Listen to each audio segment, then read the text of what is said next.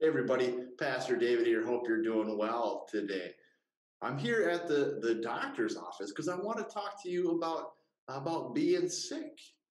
It happens to all of us from time to time. Sometimes uh, we get sick.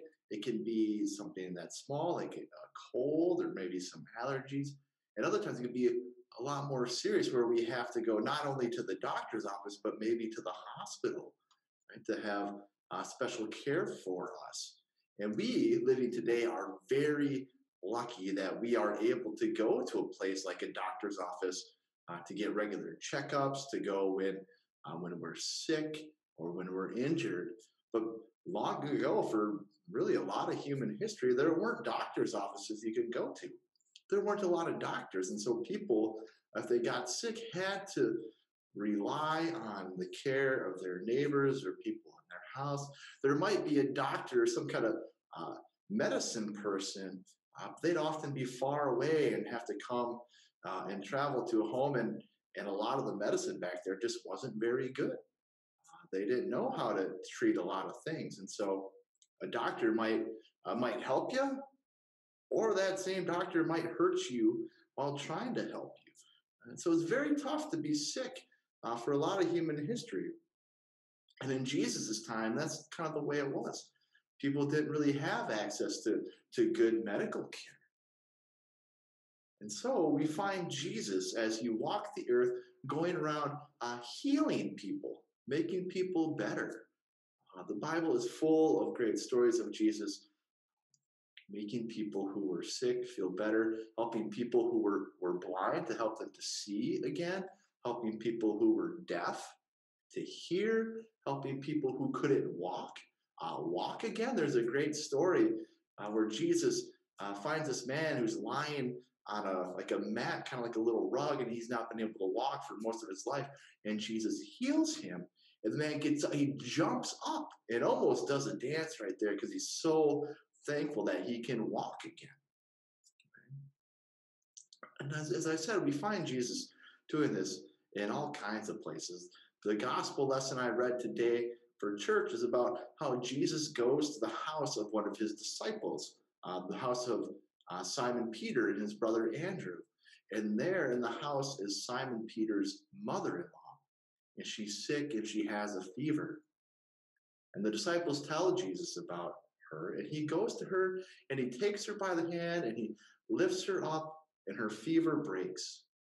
And she's all better. And she uh, is so thankful. She, she starts to to help Jesus and the disciples, and she serves them, uh, prepares them a meal, and offers them great hospitality. Uh, and while they're doing that, outside, word has started to spread about Jesus and how he can heal people and make them better. So the whole town comes out, and they all crowd around the house. And Jesus begins to heal those people who were sick. As I said, Jesus does that in a lot of places for a lot of people. What about us today? We don't find uh, Jesus walking around healing people. Right? But God has given us today access to doctors and nurses and physicians assistants and all kinds of people that can help us, us help us to stay healthy and to help us when we are sick. That's how God wants us to care for one another and take care of ourselves by going to to the doctor's office in the hospital when we have to. So that's that's part of how God takes care of our bodies today. But we also want to not only take advantage of having access to healthcare, but we also want to make sure that uh, we pray for people who are sick uh, and suffering, right? To, to let God know that our hearts are with those people and that we want them to uh, hopefully feel better. Right? So we can pray for people that are sick uh, or hurt. Uh, and we can also pray for doctors and nurses too. Now, you might have someone in your family who uh, works in medicine, maybe a doctor or a nurse or someone that works at a hospital or a clinic or something like that. And so you can offer your prayers for them that they uh, stay safe and healthy and that they are able to help others feel good as well. And as you know, we've been living in this time that we call uh, pandemic when this disease, COVID 19, is, is out in the world and has a lot of bad consequences for people, especially older people and people with uh, big health concerns. Right? So we want to be uh, praying for those people and especially for doctors and nurses. And all the doctors and nurses who help uh, care for people. And uh, you never know. Know, hopefully, you and I will be able to uh, not have to go to the doctor because we're super sick and that we don't get hurt. We can go to the doctor for our checkups and our physicals and stuff like that and hope that we don't have to go to the doctor. But when we do, we want to be thankful that they are there for us, that God has uh, called people to be doctors and nurses, called people with, with big hearts who want to help other people feel good and be healthy and well. So, even though Jesus isn't walking around healing people today, he still makes it possible for us to get better thanks to doctors and nurses and everybody who works in medicine to help us be healthy and safe. So we want to remember to pray for them, for them, and for everyone who might be sick or suffering. And you might know someone today who is not feeling well, uh, who could use a little bit of prayer, and maybe that's you. And if it is you, if you're not feeling well, I I pray for you that you will feel better. Um, but I'm asking you to think about someone you know in your life who may be sick or injured and could use a little bit of extra prayer. I want you to pray for doctors and nurses, uh, for care attendants, and even the people that, that work in the hospital to serve food and clean the rooms because they're very important to help people get better as well. So, uh, if you could do that, uh, on your own with your parents, that would be great. I'm going to do it now, just kind of as an example of how we can pray in that way. So let's do that now, shall we? Let's pray. Dear God, we thank you for uh, your son who, uh, during his life, walked around bringing healing uh, to people, restoring their lives and helping them uh, to feel better.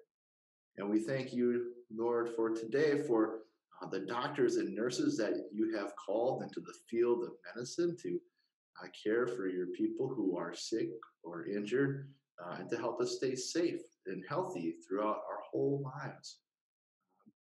bless all the doctors and nurses and everybody who works in hospitals and doctors' offices and clinics, uh, especially here at our Sanford Clinic uh, in Enderlin and the Lisbon Hospital and clinics as well, Lord.